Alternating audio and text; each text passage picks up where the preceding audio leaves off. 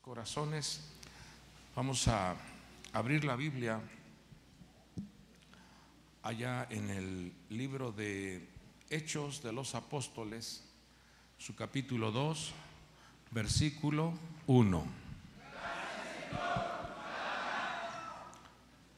Dice la palabra del Señor, cuando llegó el día de Pentecostés, estaban todos juntos en un mismo lugar. De repente vino del cielo un ruido como el de una ráfaga de viento impetuoso que llenó toda la casa donde estaban sentados. Y se les aparecieron lenguas como de fuego que repartiéndose se posaron sobre cada uno de ellos.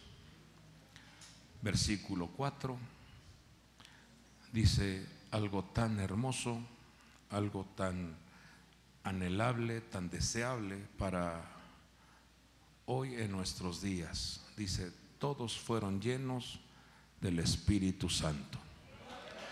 Vamos, declaremos esa gran verdad. Todos fueron llenos del Espíritu Santo. Ahora lo va a declarar y va a decir, seré más lleno del Espíritu Santo. Y como resultado de esto, dice que comenzaron a hablar en otras lenguas según el Espíritu les daba habilidad para expresarse. Vamos a hacer una palabra de oración y le vamos a pedir al Señor que Él nos ministre, que Él fortalezca, que Él abra nuestro oído, nuestro entendimiento, nuestros ojos y también genere en vuestras vidas una limpieza sobrenatural en vuestro ser interno, pero también en vuestro cuerpo físico. Vamos, dígale al Señor, quiero que mi cuerpo esté sano, Señor. Anhelo que mi cuerpo esté lleno de fortaleza. Va a declarar con fuerza, se va de mi vida toda enfermedad, toda debilidad, toda opresión, toda tristeza fuera de mi vida, toda angustia fuera de mi vida, toda preocupación fuera de mi vida, toda ansiedad se va de mi vida. Somos libres, somos libres. Gracias a mi Señor Jesucristo. Celébrelo con gran libertad. Chifle, grite, celebre. Amén. Pidámosle al Señor las virtudes que requiere nuestra alma, con toda su fuerza.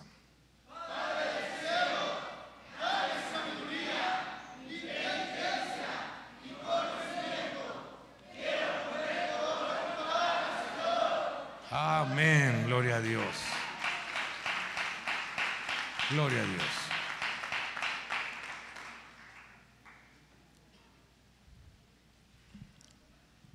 El día del Pentecostés, conocido como la fiesta de Shabbat o la fiesta de las semanas, es de saber que se celebran dos operaciones, dos activaciones en el plano espiritual para la vida del hombre. Nos damos cuenta cómo el Señor reúne a su pueblo en el monte Sinaí para entregarle las instrucciones escritas en dos tablas. Una tabla tiene que ver cómo debe de ser nuestro servicio, nuestra entrega, cómo debe de ser nuestro compromiso con el Creador. La otra tabla tiene que ver cómo debe de ser el comportamiento, el carácter, la manifestación de respeto, comprensión, compasión hacia nuestro prójimo, hacia nuestros hermanos. Pero también en esa fiesta del Pentecostés vemos una manifestación muy especial en donde el Señor entrega, hace entrega a su pueblo de ese precioso don, de esa preciosa cobertura del Espíritu Santo. Por un lado vemos cómo nos entrega un manual de funcionamientos, pero a veces se ignora en la interpretación qué es lo que quiere decir o qué nos muestra ese manual. Pero viene el precioso Espíritu de Dios y dice que Él os hará saber, Él nos revelará, Él os, enseñará y Él nos guiará a toda verdad. Entonces, esto debemos nosotros de comprenderlo. Este día es un día muy especial porque podemos ver la activación de ambas ministraciones. Vemos en el libro de Deuteronomio capítulo 9 versículo 10 el testimonio de el receptor de estas dos tablas, Moisés. Y testifica y dice lo siguiente. En esto vamos a vamos a entender muy claro esto. Vamos a entender muy claro lo que el Señor nos muestra. Dice, y el Señor me dio las dos tablas de piedra escritas por el dedo de Dios. Y en ellas estaban todas las palabras que el Señor os había dicho en el monte, de en medio del fuego. ¿Qué es lo que está subrayado ahí? ¿Qué dice? El día de la asamblea. El día de la asamblea. Esa palabra en hebreo, asamblea, es cajal,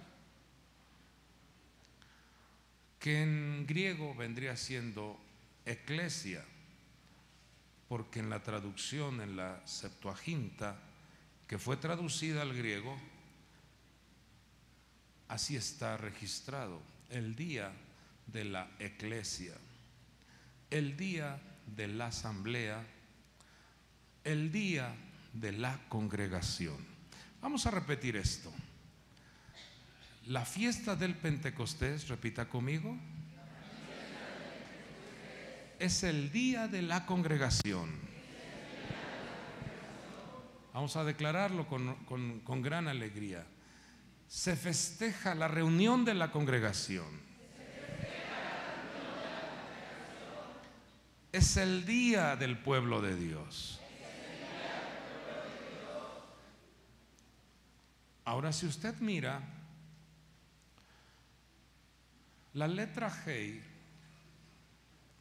está en medio de dos letras, la letra Kuf y la letra Lamed. La Kuf tiene que ver con la santidad y la Lamed tiene que ver con la instrucción. Entonces esa palabra cajal vemos en el centro a una Hei que representa a la congregación, a una Hei que representa al pueblo de Dios. Esa Hei representa también un pueblo que está cubierto de la gracia, con buenos pensamientos, buena manera de hablar y una extraordinaria manera en su accionar. Repita conmigo eso. Diga con toda su fuerza, yo tengo buenos pensamientos. Hablo apropiadamente. Hablo con ternura. Espero que así sea. ¿Eh? Y mis acciones son santas. Vamos a declararlo así. Yo no soy tramposo. No quiero sacarle ventaja al vecino. ¿Sí está claro? Entonces, note cómo la iglesia o la asamblea o la congregación está en el centro de dos letras. La santidad, Kuf, Kodesh, la santidad, y Lamed, que es la instrucción. ¿Y qué es lo que entregó el Señor en este día? Su Espíritu Santo y sus tablas. ¿Hasta ahí vamos bien? Vamos, ahora declaré también, diga, yo recibo al Espíritu de Dios y recibo la instrucción. Si me ayuda a leer este Salvador, eh, es Deuteronomio 4, 10 y 11 creo. Esa, esa, esos dos textos revelan cómo esta fiesta de Shabbat o esta fiesta de las semanas es el proyecto de su pueblo congregado, el pueblo unido, el pueblo buscando, el pueblo anhelando la sabiduría y la santidad. Cuando el pueblo manifiesta ese deseo, cuando el pueblo manifiesta esa degustación de recibir la enseñanza y de caminar obedeciendo a la palabra, el Espíritu de Santidad cubre, protege, blinda, respalda, consuela, y hace que la persona se mantenga firme en medio de las complicaciones y las adversidades. Mire lo que testifica Moisés, Deuteronomio 4:10. ¿Qué dice? El día que estuviste delante del Señor tu Dios en Oreb, cuando el Señor me dijo, reúneme al el pueblo para que yo les haga oír mis palabras. Reúneme, ¿qué dice? Al pueblo. ¿Cuál es la tarea entonces? ¿Cuál es la tarea de un ministro? Reunir al pueblo.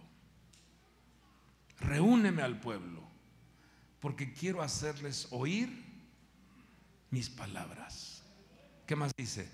las cuales aprenderán para temerme todos los días que vivieren sobre la tierra.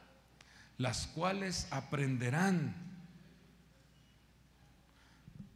Esa palabra que dice para que para que me teman es la palabra para que me honren, para que me respeten, para que me valoren, para que sepan, para que tengan conocimiento de quién es el que administra el universo, para que tengan conocimiento que quién es el que abre las ventanas y las puertas de los cielos, para que sepan que Él es el pastor, para que sepan que Él es el proveedor, para que sepan que Él es el sanador, para que sepan que Él es el que te defiende, para que sepan que Él es el que te abre puertas de oportunidades, para que sepan que Él es el que te corona de favores, para que sepamos que Él está al pendiente de tu vida todos los días de tu existencia, desde que fuiste engendrado hasta tu vejez. Dice, yo te llevaré en mis manos, no te faltará nada, porque yo soy vuestro amparo y vuestra fortaleza, vuestro pronto auxilio. Estamos delante de un Padre maravilloso. Si usted lo cree, celébrelo.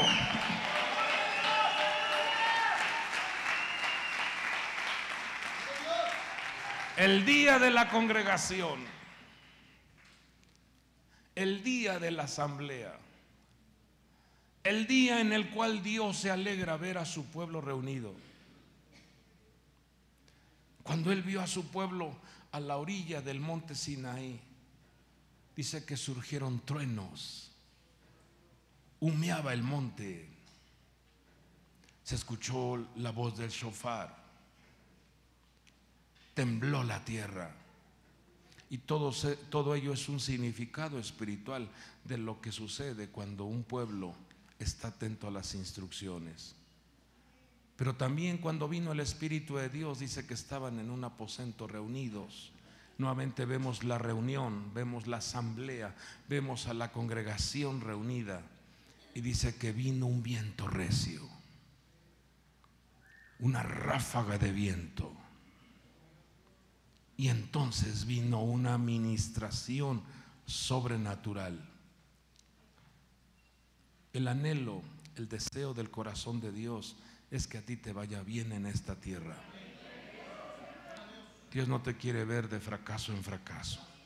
No. Dios te quiere ver de gloria en gloria.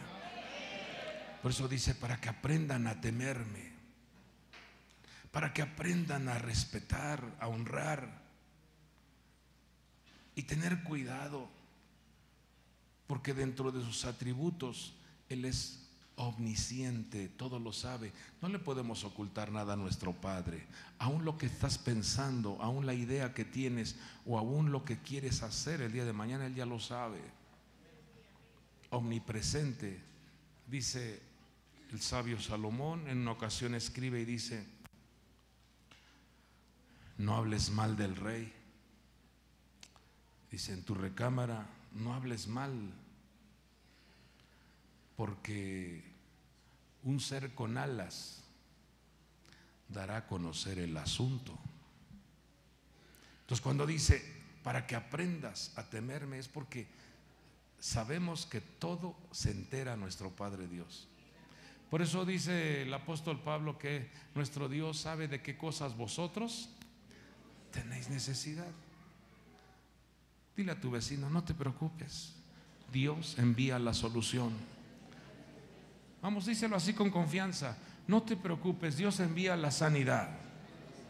No te preocupes, Dios envía la provisión. Dios envía los recursos. Dios envía su protección. Dios envía el abrazo. Dios, Dios envía las fuerzas.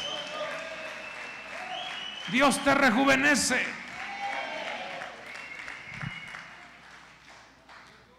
Por eso la fiesta de Shabbat debe de ser conocida como la fiesta de la reunión, de la congregación, de la asamblea o el, la fiesta de la iglesia. Vamos a confirmar más esto. En Deuteronomio 10:4 dice, y él escribió sobre las tablas conforme a la escritura anterior los diez mandamientos que el Señor os había hablado en el monte en medio del fuego y menciona nuevamente este término, el día de la asamblea. Y el Señor me las dio. Ahora nos vamos al Nuevo Testamento, en Hechos 7:38, y vemos cómo el profeta habla y dice, este mismo Moisés estuvo en la asamblea en el desierto, con el ángel que le habló en el monte Sinaí y con nuestros antepasados. Fue también el, el, quien recibió palabras de vida para comunicárnoslas a nosotros. Nuevamente menciona la palabra la asamblea, que es cajal. Y cajal es la provisión de santidad e instrucción al pueblo a los hijos. Entonces aquí esto nos enseña a cada uno de nosotros a que en nuestras reuniones, en nuestras convivencias, en nuestras celebraciones, procuremos que la persona que está a nuestro lado reciba dosis de santidad y de instrucción. Que no vayamos con nuestras actitudes o con nuestro mal carácter o con nuestro mal proceder hacer que la persona que está a nuestro lado descuide la santidad y descuide la instrucción. Es muy importante que cada que tú te sientas a la mesa con tu familia, siempre haya una inyección de santidad y una inyección de instrucción.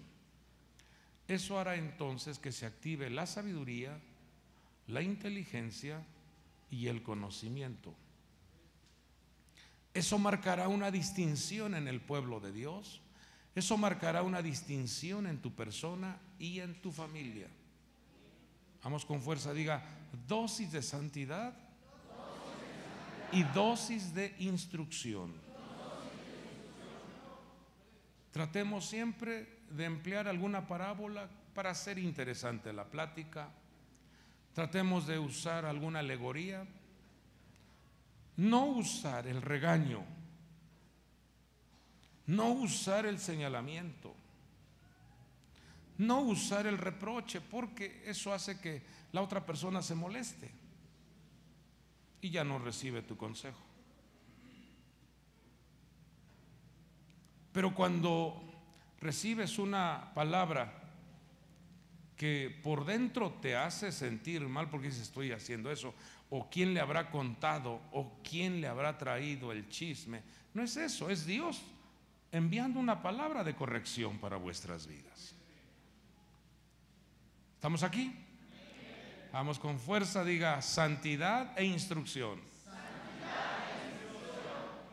¿A cuánto les gusta recibir consejos? Entonces serás extraordinariamente sabio. Porque el sabio recibe el consejo o la reprensión y se alegra por recibirla. Pero dice que el necio, cuando recibe el consejo, se burla o se enoja. Pero aquí hay pura gente sabia, tierna, dulce, amable. ¿Verdad que sí? llena de paz, alegría. Bueno, seguimos. Vamos a entender esto. La iglesia, la asamblea, la congregación fue diseñada desde tiempos antiguos. Fue proyectada por nuestro Padre Dios desde tiempo muy atrás. Y lo declaró el Señor a su siervo Jacob en Génesis 35, 10 y 11. Cuando tiene esa lucha por la bendición, Dios le dice a Jacob, no te llamarás más Jacob, sino que tu nombre será Israel. Y le puso el nombre de Israel. Y entonces viene una profecía. Y también le dijo Dios, yo soy el Dios Todopoderoso, sé fecundo y multiplícate. Vamos con toda tu fuerza, declara, fecundidad, fertilidad y multiplicación. Porque eso abarca todas las áreas de nuestra vida. Una vez más diga fertilidad, y multiplicación. Aquí es donde necesitamos entender esto porque la obra de vuestras manos tiene que ser fértiles y que se multiplique lo que hacemos. ¿Ok? Entonces, dice el Señor, sé fecundo y multiplícate. Entonces, mire lo que dice, una nación y multitud de naciones vendrán vendrán de ti y reyes saldrán de tus lomos. Cuando dice una multitud de naciones, está refiriéndose a la congregación de los gentiles. ¿Y quiénes eran los gentiles? Aquellos que no teníamos... Aquí anoté un texto que escribe el apóstol eh, Pablo a los Efesios, en su capítulo 2, versículo 11, mire quiénes eran o quiénes formamos parte del pueblo gentil. Pero mire qué interesante es esto. Dice, recordad, o sea, que no se te olvide. Dice, recuerda esto, que en otro tiempo vosotros, los gentiles en la carne, llamados incircuncisión, ¿cómo nos llamaban? Incircuncisión, por la tal llamada circuncisión, hechas por manos en la carne. Versículo 12, te vuelve a decir, recordad que en ese tiempo estabais separados de Cristo, excluidos de la ciudadanía de Israel, extraños a los pactos de la promesa, sin tener esperanza y sin Dios en el mundo. Levanta tus manos y di, gracias Señor porque ahora ya esto se ha superado. Mire lo que dice el versículo 13. Pero ahora, y esto hay que celebrarlo, dice, pero ahora en Cristo Jesús, vosotros que en otro tiempo estabais lejos, habéis sido acercados por la sangre de Cristo.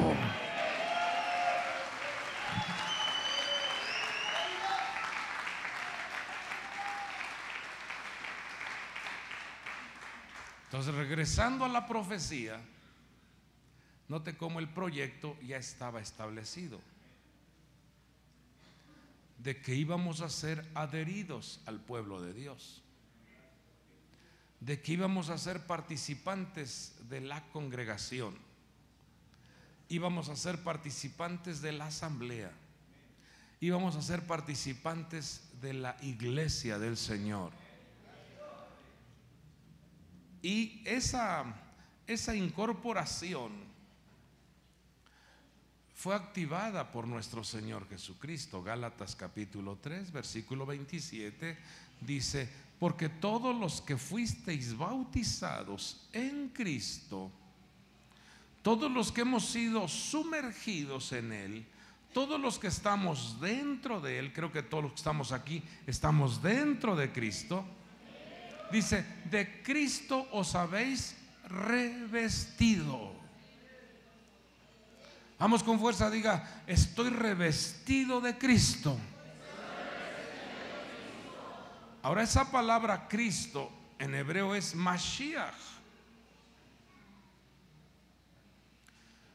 Y Mashiach es un código.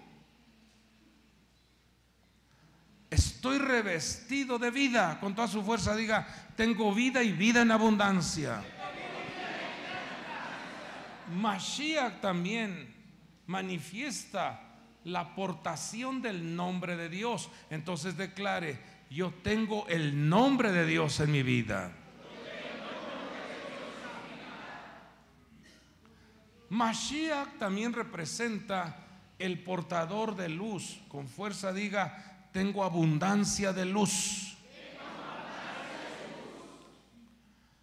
Mashiach también representa la unidad del pueblo de Dios. Diga con toda su fuerza, tengo una gran familia, que es el pueblo de Dios. Si está grabando, que representa Mashiach? Pero también Mashiach representa portador de abundancia. Somos fértiles. Somos bendecidos. Somos fecundos. Gracias a nuestro Dios. Por eso cuando dice aquí, fuisteis bautizados, fuisteis sumergidos en Mashiach. De Cristo os habéis revestido. Entonces vamos a repetir cuál es el revestimiento que tenemos. Con toda su fuerza, diga vida y vida en abundancia. Tengo el nombre de Dios. Porto luz. Tengo el poder de Dios. Tengo la bendición de la abundancia. Celébrelo porque eso es una realidad. Ahora, sigue escribiendo el apóstol Pablo y dice, no hay judío ni griego, no hay esclavo ni libre, no hay hombre ni mujer, porque todos sois uno en Cristo Jesús. Versículo 29. Dele lectura y si usted lo entiende, debe de manifestar alguna de las celebraciones. Con toda su fuerza. ¿Qué dice Gálatas 3:29?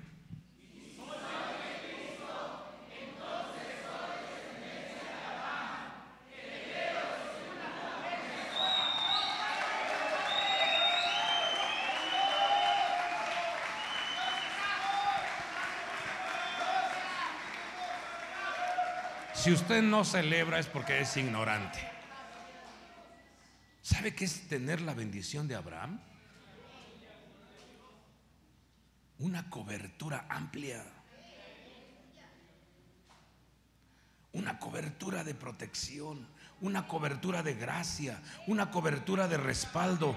Al que te maldiga, dice Dios, yo lo maldeciré.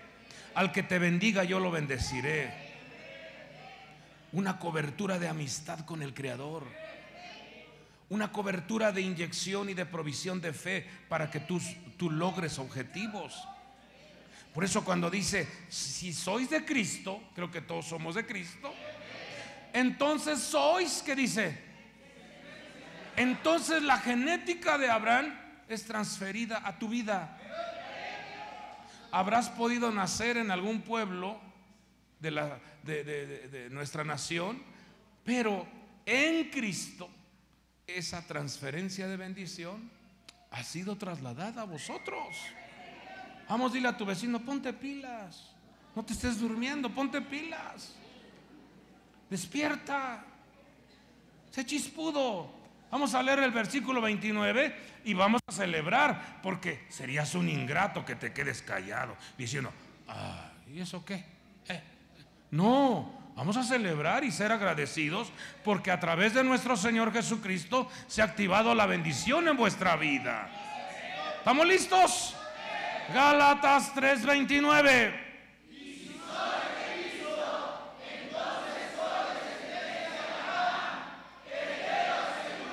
Así es, así es. Así es.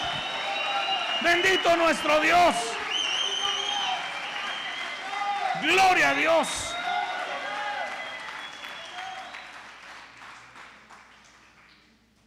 Así pues, ya no sois extraños ni extranjeros, sino que sois conciudadanos de los santos. ¿Y qué dice lo que está subrayado? Vamos, diga, somos la familia de Dios. Dile a tu vecino, tú eres de la familia de Dios. Ya no eres un extraño, ya no eres un extranjero. Ahora tenemos una patria, ahora tenemos una herencia, ahora tenemos pacto, ahora tenemos bendición, ahora tenemos ese linaje. ¿Está claro hasta ahí? Seguimos. Pero a veces cuesta trabajo comprender esto. Ahí yo menciono cuatro movilizaciones o cuatro instrucciones o cuatro eh, cirugías que se tienen que aplicar en nuestra vida. Cuatro operaciones que infectan la mente y el corazón de la persona. Cuatro conductas que tenemos que erradicarlas de nuestra vida. Y lo vemos como en la vida de Abraham le dijeron, sal de tu tierra y de tu parentela.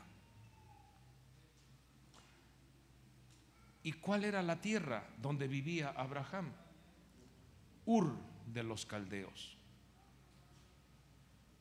Y cuando usted ve el significado de Ur de los caldeos, dice la pasión, el fuego de los demonios. La pasión o el fuego de los demonios. ¿Qué le está diciendo Dios a Abraham? Tú tienes que separarte de esas pasiones desordenadas. Tienes que separarte de esas prácticas indecorosas. Tienes que abandonar. Tienes que alejarte, tienes que conducirte hacia la santidad y hacia la instrucción. Eso se lo dijeron a Abraham. Sal de tu tierra y de tu parentela a la tierra que yo te mostraré. Pero vemos otra movilización que Dios hace y es a su pueblo cuando estaba esclavo en Egipto. Vemos cómo el Señor le dice, salgan de Egipto. Yo los voy a conducir a la tierra que fluye leche y miel. Y Egipto representa ese estado de limitaciones, ese estado de esclavitud, ese estado de adicciones, ese estado de opresión, ese estado de amargura, ese estado de enfermedad, ese estado de, eh, de abuso. Usted se da cuenta, dice Éxodo capítulo 1, versículo 12 que Faraón declaró y dijo, procedamos astutamente contra este pueblo, no sea que se multiplique y suba. Y si usted se da cuenta, cuando ve usted la mentalidad y el comportamiento de la persona que no tiene a Dios, en ella opera el síndrome del cangrejo. Cuando a ti te miran que vas superando, vas avanzando, ese terrible síndrome hace que te agarren y te, y te jalen hacia abajo, como diciendo, ¿a dónde vas? ¿Qué tanto haces ahí en la iglesia? ¿A dónde vas? Y hasta se burlan de ti. Les están lavando el coco. Les están lavando el cerebro. Y es una realidad. El Señor no nada más nos lava el coco o el cerebro, nos lava todo. Nos limpia todo. Pero el síndrome, el síndrome del cangrejo es, tú no, tú, tú no tienes por qué. ¿A poco sí? Nada más fíjate cómo vives, pobrecito de ti y siempre queriendo afectar vuestra mentalidad. ¿Para qué oras tanto si no cambias? Ese tipo de cosas quieren afectar a la vida del creyente. Por eso el Señor te dice, sal de esos limitantes, sal de esa esclavitud, sal de esa amargura, sal de ese odio, abandona eso y ve a la tierra que fluye leche y miel. Pero también vemos otra movilización que Dios hace con el pueblo gentil, porque el pueblo gentil se estaba incorporando al pueblo de Dios y entonces al pueblo gentil, allá en el libro de Hechos capítulo 15, le dice, le habla a los apóstoles para que les instruya. Dice, no hay que ponerles cargas muy pesadas al pueblo gentil, porque Nuestros padres no pudieron llevar esa carga de la ley. Solo menciónenles que se aparten de los ídolos, que abandonen la idolatría. Porque la idolatría es un imán de las enfermedades. Por eso, a sus seres queridos que usted tanto ama, a su abuelito, a su abuelita, a su tío, a su tía, que mira que en su sala tiene ahí una imagen, de una manera educada, dígale, ese es un imán de la enfermedad. Esa imagen es un imán de la miseria y la pobreza. Esa imagen es un imán que se llevará, que se robará todo tu esfuerzo. Porque detrás de cada ídolo, detrás de cada imagen, hay demonios. Pero también dice la escritura que en ese, en ese libro, en ese capítulo 15, les dijo, díganle que no coman lo sacrificado a los ídolos. Que no se anden metiendo sus piecitos ahí en esas fiestas del día del Halloween. ¡Ay! ¡Ay, qué bonita! Y disfrazan a sus niños de brujos y brujas. Y le pintan la cara de calacas. ¿Qué es eso? Si lo que se está trayendo es la muerte. Pues el Señor dice, díganle a los gentiles que no se conecten con esas prácticas. Que no anden los niños ahí pidiendo su calaverita. El día del amor. El día del amor es diariamente, amado pueblo de Dios. Diariamente tienes que manifestar amor. Pero ese día no se celebra el día del amor, sino a un ídolo llamado San Valentín. que se suicidó por el amor de una mujer.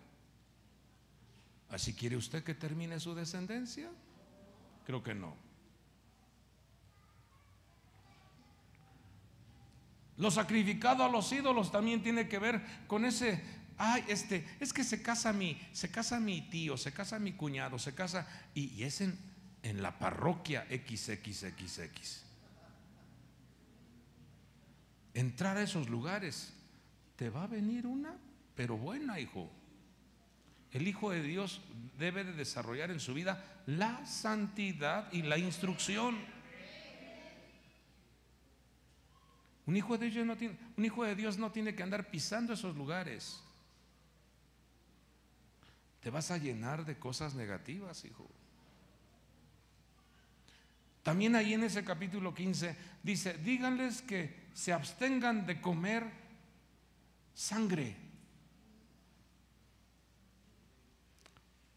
No sé si confesarles algo que yo hice ya hace añísimos, pero sí se los confieso. Ah, qué bien les gusta a ustedes. Miren hijos, lo voy a decir como testimonio. Todavía no era pastor. Eh, para que no haya, ay, el pastor, no, no era pastor, hijos, es en serio. Debido al trabajo que teníamos, me tuve que cambiar a vivir a Tula. Y allá vivíamos. Y en una ocasión, al salir de visitar a una, a una empresa, había un tianguis muy grande. Y al pasar por el tianguis yo ya tenía hambre. ¿Y qué creen? No, pero con ánimo. ¿Qué creen?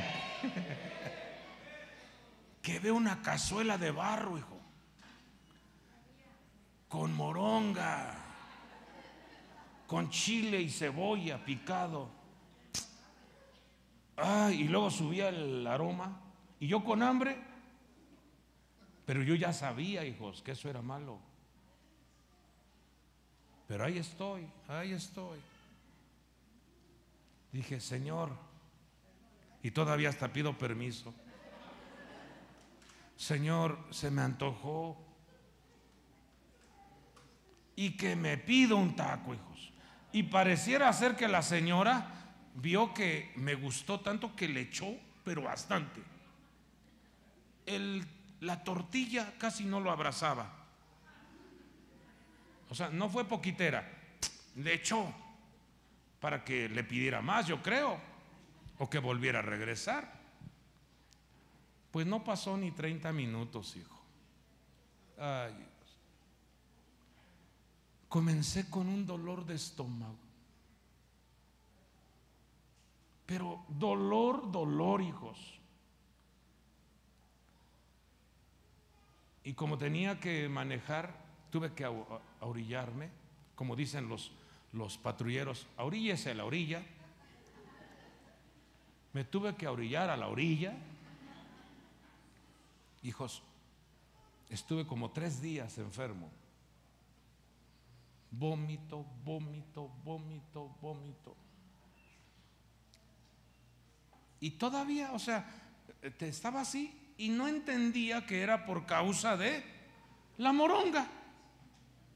Digo, ¿qué me habrá, qué me habrá pasado? Yo todavía así como que entenebrecido, no entendía. ¿Qué, ¿Por qué esto? ¿Por qué? Ay, hasta que le dije, Señor, muéstrame qué pasó.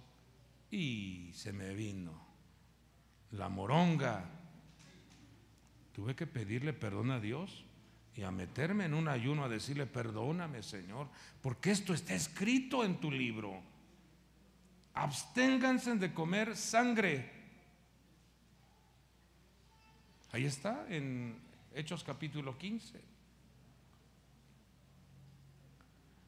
Entonces eso hace que el pueblo de Dios sea distinguido porque entra tu vida en un estado de constante instrucción y santidad. Porque Dios quiere que tú, que tú como hombre, como mujer, como familia, te vaya bien en la vida. Pero la otra movilización que está profetizada para el tiempo final y se lo dice al pueblo de Dios, está registrado en Apocalipsis 18, cuando dice, sal de en medio de Babilonia, en medio de la ramera porque ella se ha llenado las entrañas de la sangre de los justos. Se bebe la sangre de los redimidos. Se bebe la sangre de los que Dios ha salvado. ¿Cómo es esto? El pueblo que se conecta con la ramera, con esa estructura, cancelamos. Levante su voz de intercesión y diga, cancelo toda conexión con la inmundicia de la ramera, con la inmundicia de Babilonia. Y para tener mayor claridad, usted se acordará cómo Daniel y tres jóvenes hebreos llegaron a Babilonia y quisieron darle el alimento de Babilonia. Entonces Babilonia te cambia tu forma de alimentarte. ¿Están aquí? Porque Babilonia promueve la enfermedad de tu cuerpo físico. Babilonia quiere que el santuario que es tu cuerpo esté enfermo. Porque ya no vas a poder aplaudir. Ya no vas a poder levantar las manos porque todo te duele. Ya no vas a poder danzar, celebrar porque todo te duele. Te enferma. Babilonia promueve comidas y bebidas que contaminan tu vida. Pero también Babilonia promueve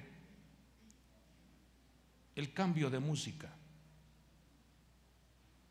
Ahí está usted con un terrible reggaetón, con el chico bandón.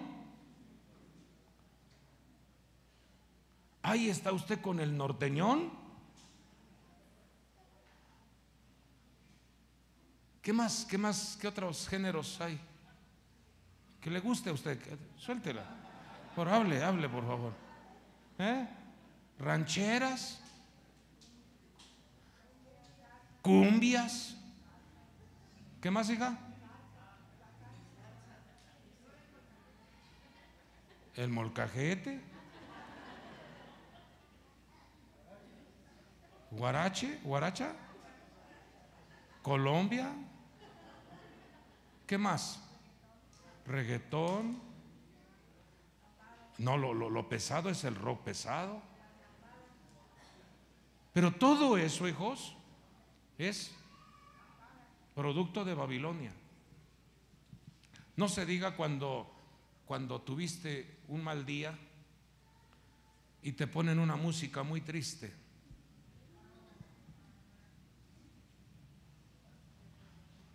Una vez se da el corazón y lo demás es pura ilusión. Y tú, ay, sí, ay, sí,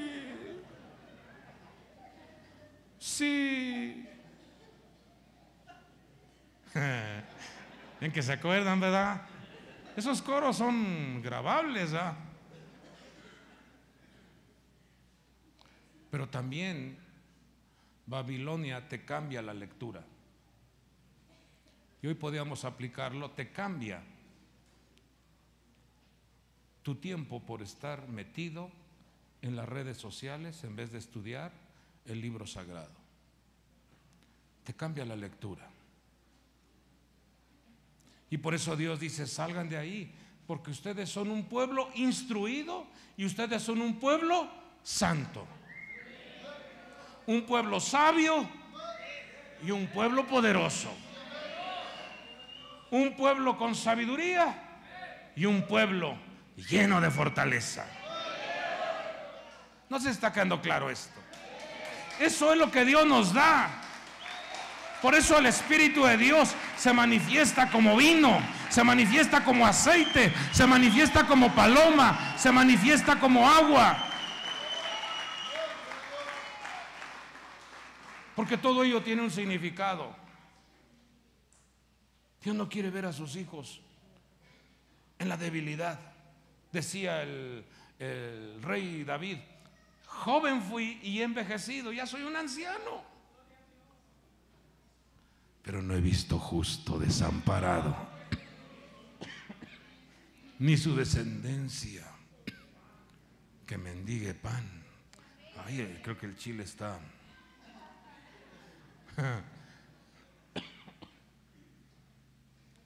Mientras celebre tantito, ¿no? Para. se me quedan viendo, ¿no?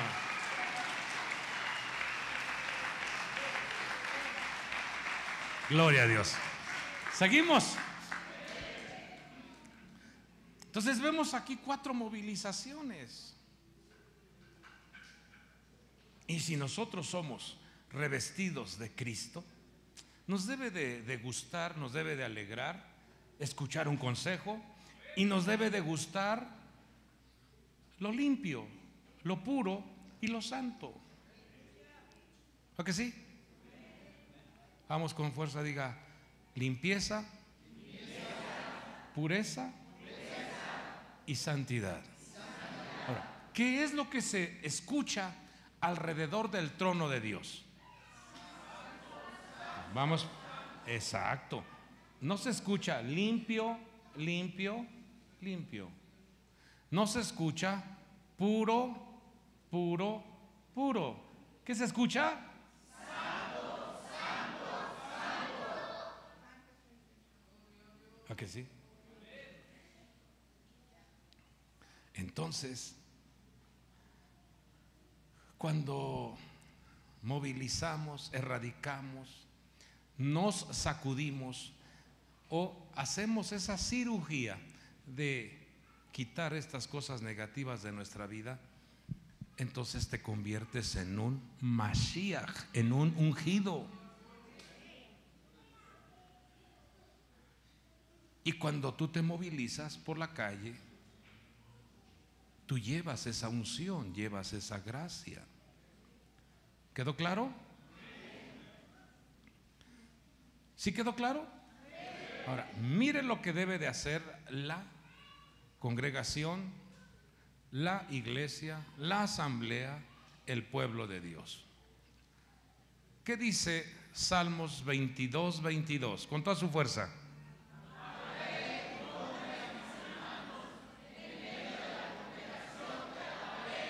Una vez más, léalo con fuerza.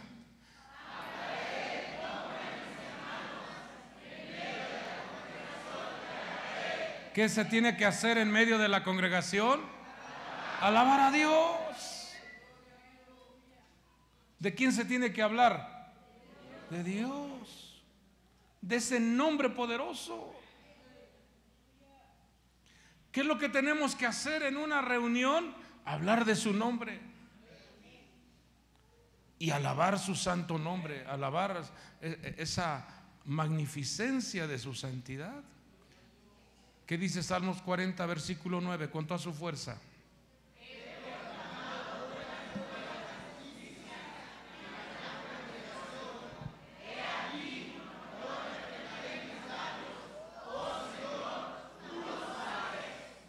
¿Qué tiene que hacer la congregación?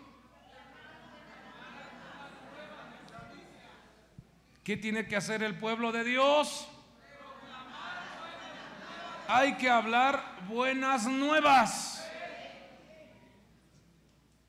Hay que hablar del Evangelio de nuestro Señor Jesucristo buenas nuevas al necesitado, buenas nuevas al enfermo, buenas nuevas al que está atado, buenas nuevas al que está pasando por el valle de sombra o de muerte, buenas nuevas para el que se, el que se siente débil. Buenas noticias. ¿Qué debe de hacer el pueblo de Dios? Proclamar buenas noticias. Ay, ¿qué crees, manito? Conteste usted, ¿qué? ¿Qué crees, manita? Ay, mejor no te cuento. Bueno, ahora digas, ¿por qué? No, no, no, porque nos dijeron que no, no habláramos negativamente. Pero siento la cosquilla de decírtelo.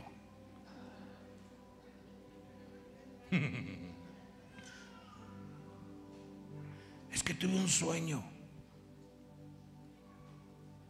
Yo veía que te correteaba un burro, manita. Y tú sabes que Dios me habla mucho a mí. Y se me hace que ese burro es el vecino, hermanita.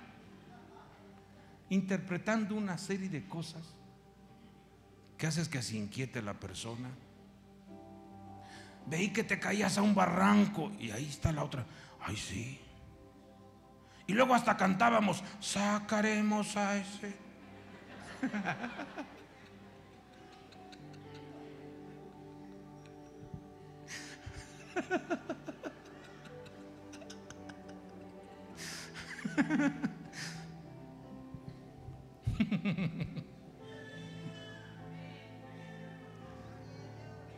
¿Y qué nos invita a Dios que hagamos como pueblo? Lea Salmos 49. ¿Qué dice?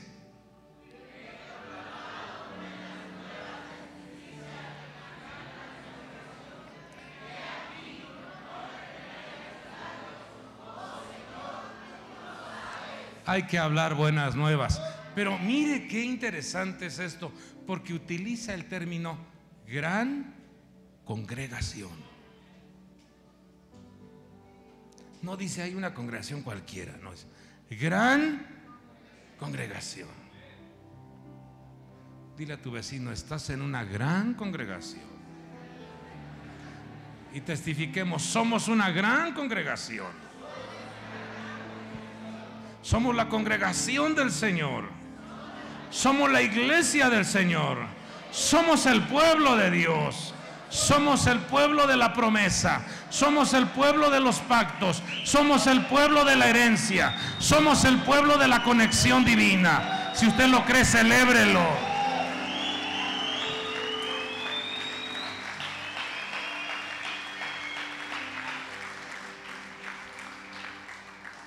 Termino con el texto registrado en Hebreos 2.11.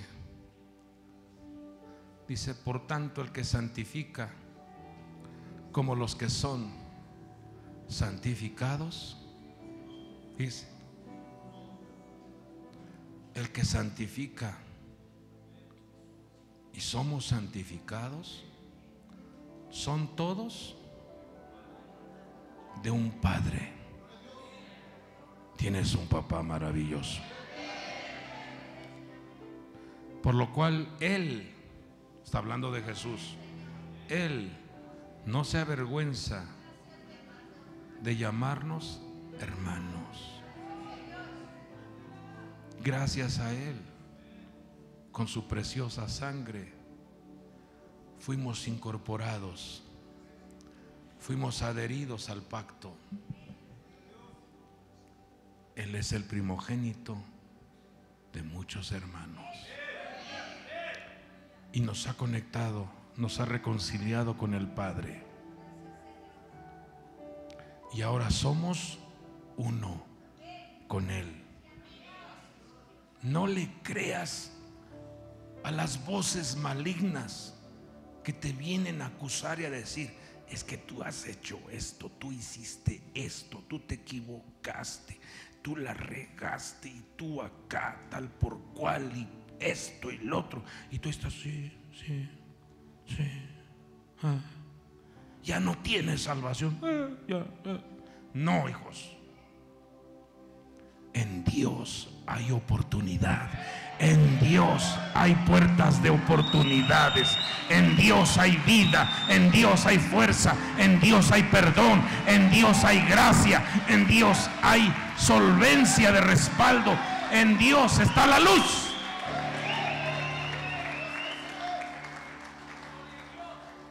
Vemos que esa palabra profética registrada en el libro de Salmos 49 la vino a cumplir nuestro Señor, nuestro amado Señor y Jesucristo. Por eso en el versículo 12 dice, Hebreos 2:12, léalo con toda su fuerza. ¿Qué dice?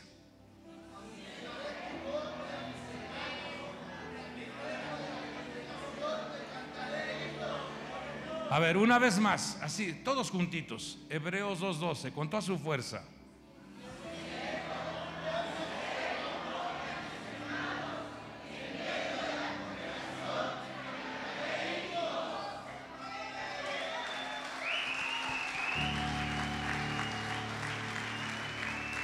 Fíjese, el que santifica y los que son santificados, tenemos un Padre, un Padre maravilloso. Y Él degusta, nuestro Padre disfruta cuando su pueblo se congrega. Yo lo felicito por estar en esta reunión. Porque eso marcará que el cielo se abra para que vengan buenas noticias a tu vida.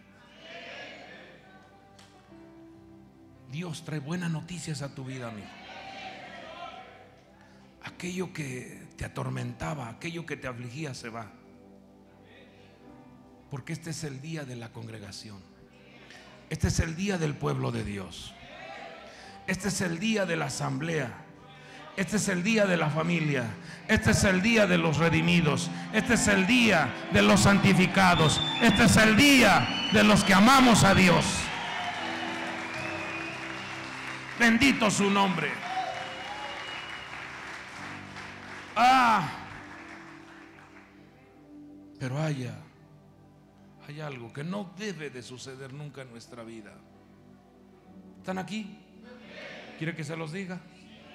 Mire, una ocasión, nuestro Señor Jesucristo estaba en el monte de los olivos y miró a su pueblo. Y salieron lágrimas de sus ojos. Y emitió una palabra muy seria cuando dijo, Jerusalén, Jerusalén, ¿cuántas veces quise juntar a tus hijos? ¿Cuántas veces quise congregarlos? ¿Cuántas veces, veces quise verlos reunidos? Dice, como la gallina pone a sus pollitos debajo de sus alas. Yo también los quise ver reunidos. Dice, pero tú no quisiste. Ese es el lado negativo del ser humano. Cuando ignora las oportunidades que Dios le da a la persona. Lo deja plantado, lo abandona, le da mayor importancia a otras cosas. Se vuelve impuntual, indisciplinado, muy insensible. Eso es lo negativo. Y Dios menciona que cuando un pueblo, cuando una, una, familia, una persona se conduce así, dice, he aquí vuestra casa quedará desierta. Pero creo que esta es la congregación, la asamblea del pueblo de Dios. Y creo que anhelamos la instrucción y la santidad. Si es, así, póngase sobre sus pies y dígale al Señor, anhelamos la instrucción y cuidaremos la santidad. Vamos con fuerza. Anhelamos la instrucción y cuidaremos la santidad. Entonces te alabaré en medio de la congregación. Mi boca proclamará buenas noticias. Vamos, declare, mi boca hablará buenas noticias. Yo voy a proclamar buenas noticias. Si usted lo cree así, celébrelo.